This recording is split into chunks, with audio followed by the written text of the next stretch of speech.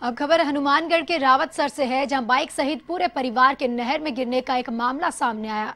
इस मामले की सूचना पाकर पुलिस मौके पर पहुँची और तलाशी अभियान को शुरू किया गया। इसी दौरान बीकानेर से राज्य आपदा बल की टीम को भी मौके पर बुलाया गया। इसके बाद रेस्क्यू कर युवक के शव को बाहर निकाला गया। आपको बता दें कि भुनावली ढाणी निवासी प्रभुराम मेघवाल ससुराल से अपनी पत्नी और बच्चों के साथ वापस लौट रहा था।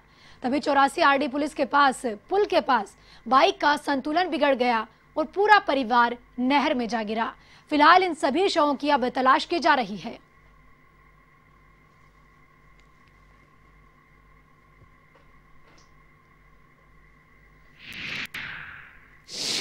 एम पी आर दर्ज हुई थी जिसमें हम्म, एक आदमी और उसकी औरत और तीन बच्चे घर नहीं पहुँचे हैं।